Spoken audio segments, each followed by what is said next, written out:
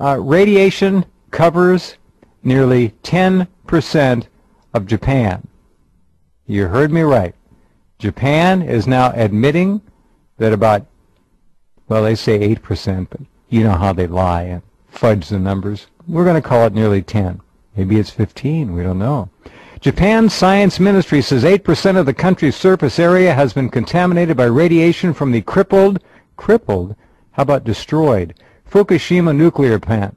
It says that more than 30,000 square kilometers of the country has been blanketed by radioactive cesium.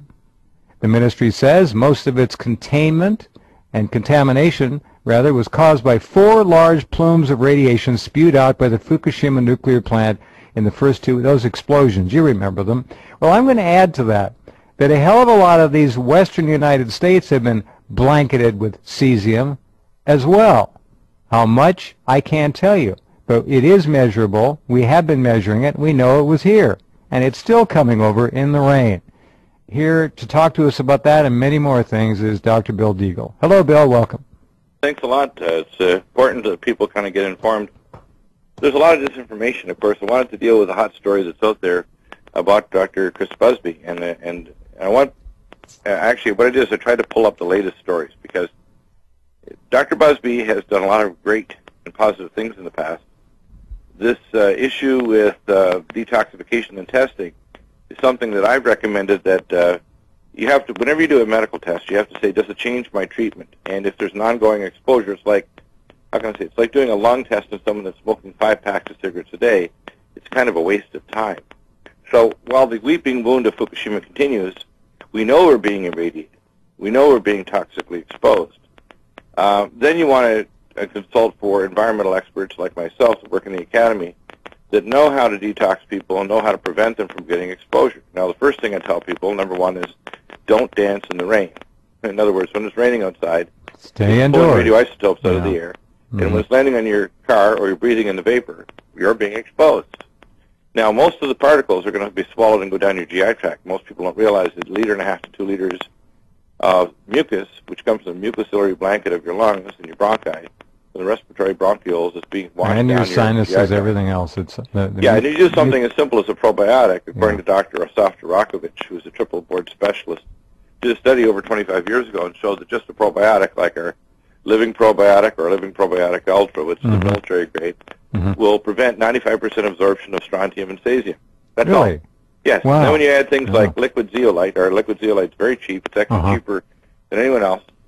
This is very simple for yourself or your pets to take in because most of your radioisotopes are going to go down your GI tract. And if you grab them and pull them out in your stool, a simple way is if you have a $429 uh, Inspector Plus or $450 Inspector Plus, and you scan over the toilet and it goes click, click, click, you know that it's no longer in you.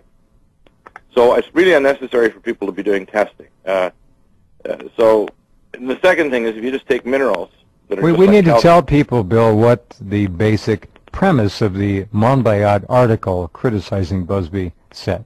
Well, I think what they're trying to say is that basically they're saying that he is, uh, the Monbiot, of course, is a monster. This fellow is a devil incarnate. I'm sure he gets up in the morning with his black shoe polish yeah. and gets in the mirror and he starts with his automated shoe polisher and he ra- lowers his, he brings his hair back, his hairpiece, and he polishes those little horns. Probably okay, does. So Monbiot is a sociopath. So that's the first thing. And the second thing is they don't want any testing. I have been trying for now seven years to do radioactive testing on debris that I have from people in apartments right across the World Trade Center, and I've been blocked literally at every step of the way, including threats that I will be arrested or visited by Homeland Security within a half an hour if I request the specific types of tests that they want not to ever come to the light of day. Now, one of the things that Dr.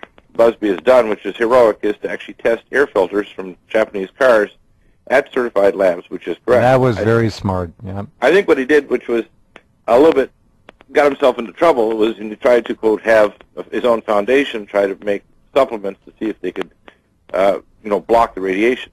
Well, I think what he did also was allow somebody to basically use his name who was clearly and obviously profiteering selling right, calcium and magnesium supplements. Now, all of us make mistakes, but I think he made a, a mistake there. And, of course, Monbiot and these monsters want to seize on it because they want to say we're all falling off the edge of the uh, environmental uh, nutcase, uh, you know, bandwagon. The fact is that uh, Dr.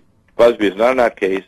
He was genuinely concerned over this and knew that calcium would compete. Now, I've got to explain something here important. If you have 100 calcium ions and you have one strontium uh, atom in solution, the body will crave the strontium and grab a hold of it much more avidly than it will the calcium ions. So yes, you can kind of try to populate it out, but it's not the most efficient way to prevent strontium from being absorbed. Okay? Because strontium has an avidity, things like liquid zeolite and things like our Kelar Max, which we have at NutriMedical, will grab a hold of it very efficiently and you don't absorb it. So I tell people, first off, don't sweat if you're living in North America. If you're living in Japan, you should have gotten out months ago.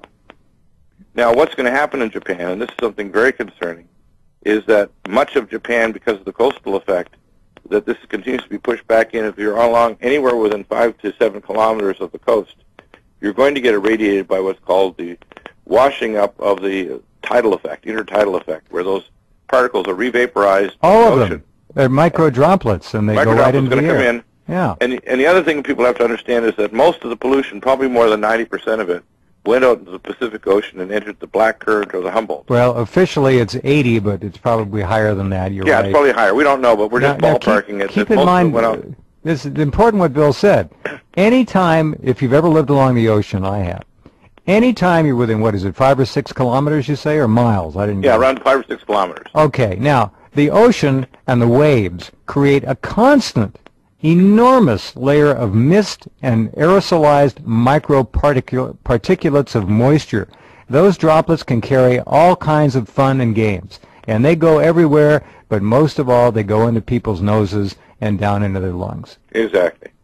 Now, what happens with the Humboldt current, it carries it along the ocean floor, and there's several different currents. Some of them move very slowly on the surface, but the Humboldt current moves pretty quickly. It's probably come to North America months ago. And it moved firstly uh, as it comes and splits uh, toward Alaska and then goes south along the California coast all along the Baja and then returns in the oceans because they have circulatory patterns like the circulation of our cardiac circulation as arteries and veins. The danger here is that there's going to be a constant uh, supply of these radioisotopes that are going to get in the food chain. And they're also going to be aerosolized in the ocean currents and the ocean surface, so they get into what's called the hydrological cycle.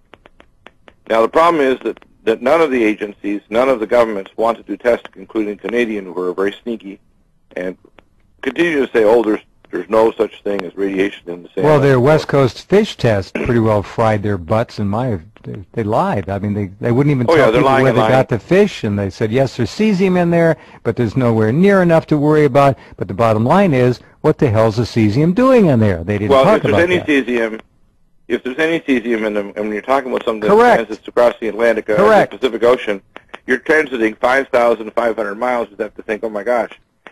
You know, the solution to pollution is not dilution. If it crosses the Pacific Ocean, the largest ocean by a very large margin in the world, and still can get accumulated, bioaccumulated within months Off the West Coast. off the West Coast, but it's going to continue for decades because Yeah, yeah, yeah. there's nothing in sight. In fact, what they're now saying openly is it'll take 30 years to disassemble the plant.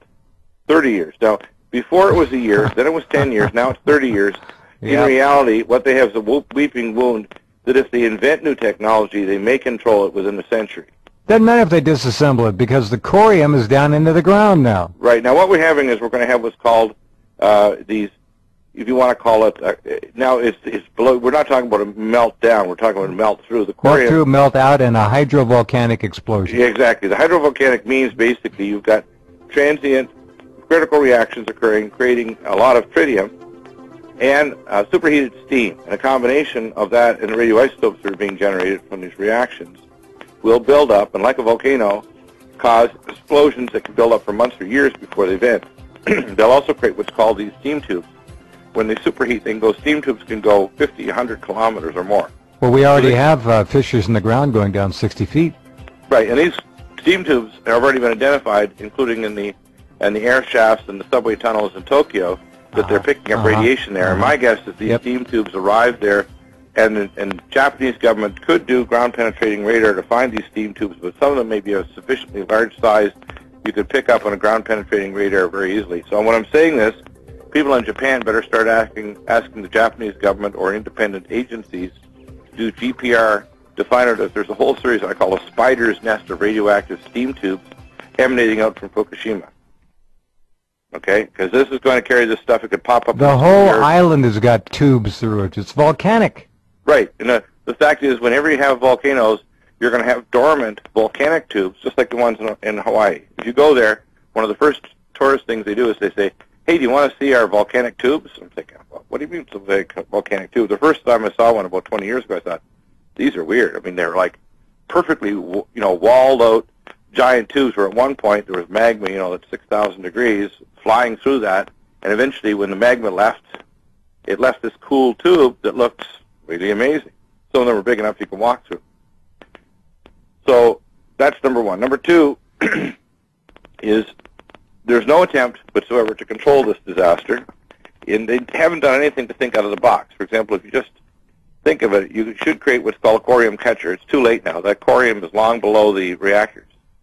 And because it's so close to the ocean, there's probably continuous um, connection with the water. And one of the analogies I use in Northern California when they started pumping out too much water from the the uh, aquifer of Northern California from the area around the Sacramento River, they discovered that if they kept on pumping, all of a sudden they got salty water because it was coming from the ocean seven miles in. The same thing is going to happen in Japan. You're going to start seeing that the amount of connection to the ocean indicates that probably the vast majority of this pollution entered the oceans.